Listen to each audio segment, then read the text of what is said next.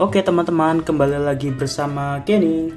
Dan kali ini saya akan memberi sedikit tutorial Bagaimana cara untuk membuka cover belakang dari si Asus TUF FX505 series. Pada kesempatan kali ini saya akan mencoba untuk mengganti thermal paste dari si laptop ini.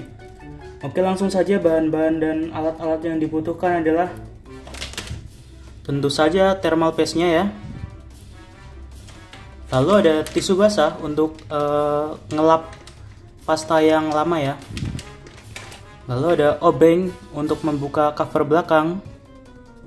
Lalu ada sapu untuk membersihkan fan. Oke langsung saja kita balik ya.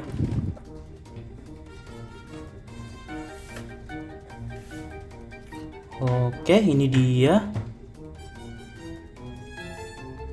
Nah jadi di sini ada 11 baut. 1 2 3 4 5 6 7 8 9 10 11. Uh, saya sudah buka ya bautnya di sini ada sini sini sini sini sini. Setelah itu bukanya dari sini. Dari atas sini. Dari ujung sini.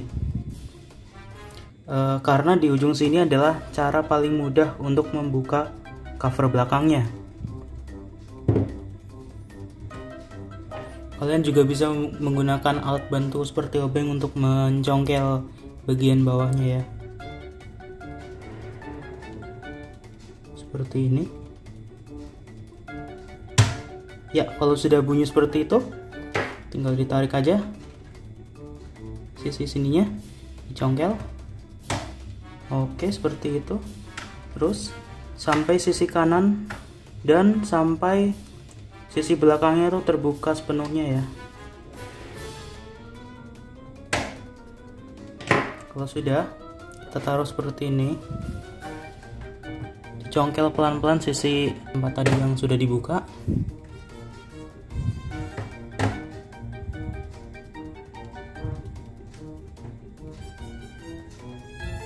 Dan ini dia. Mesin dari Asus TUF FX 505 series. Di sini saya perlu jelaskan ya, letak prosesornya ada di sini. Ini adalah GPU. Ini fan GPU sama ini fan CPU. Yang perlu kalian buka adalah uh, eh, 8 baut di CPU dan GPU-nya.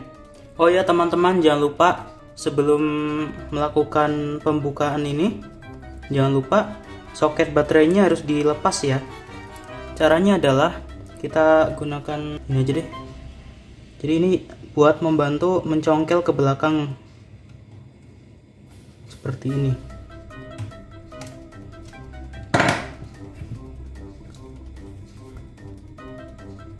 Jadi yang putih itu ya guys. Ditarik ke belakang aja. Jadi langsung saja kita buka ya bautnya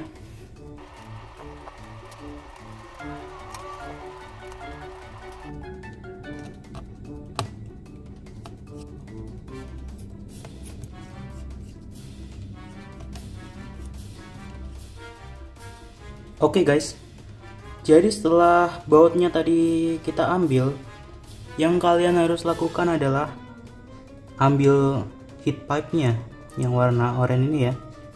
Caranya adalah dari sini. Kita letakkan tangannya di fan-nya dan di sininya bagian exhaust-nya. Kita ambil perlahan. Tarik perlahan. Nggak usah takut lalu kita ambil seperti ini. Dan terbuka. Jadi ini adalah pasta CPU dan 1 2 3 4 5 ini adalah GPU yang kalian harus oleskan adalah sini CPU GPU bagian sini sini sini sini dan juga bagian kecil ini. Jangan dilewatkan Oke, next step adalah kita bersihkan dulu semuanya pasta-pasta yang sebelumnya ada dengan menggunakan tisu basah.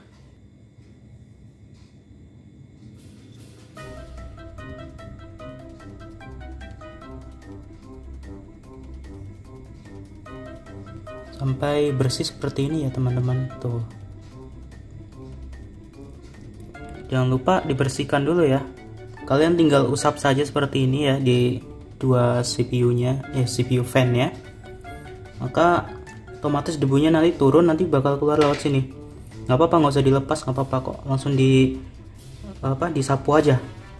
Kita ambil tisu lagi. Kita bersihkan ya yang di sini ya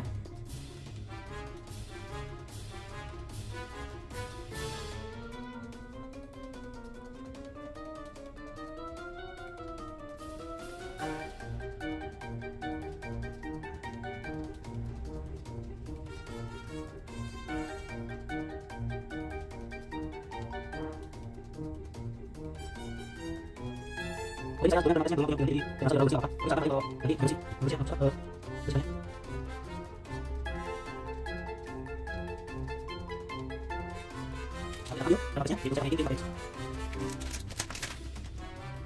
Jadi ini dia satu gram satu gram ini bisa dua kali pakai ya di laptop ini e, dalam paket penjualannya Kingpin menawarkan sebuah spatula untuk meratakan pasta yang telah dioles di sini. Oke, langsung saja kita oleskan ya.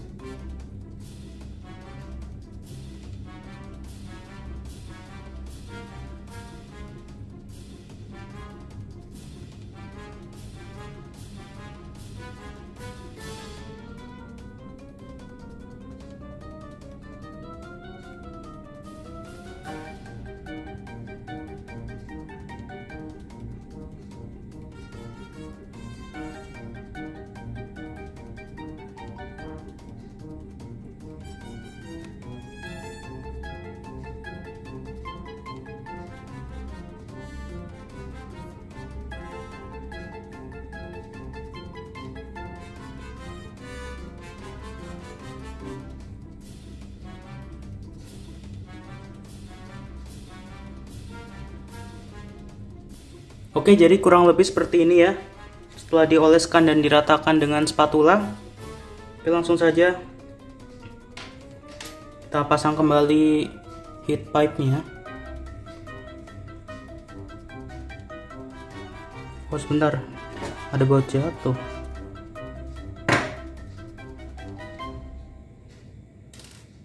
Kita pasangkan.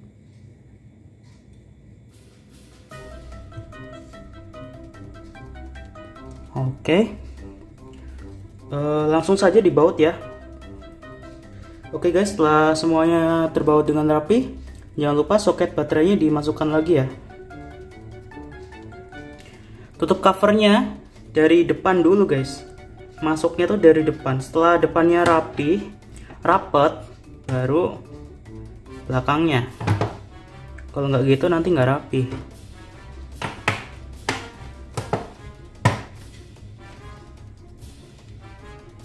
Oke rapi sekali ini.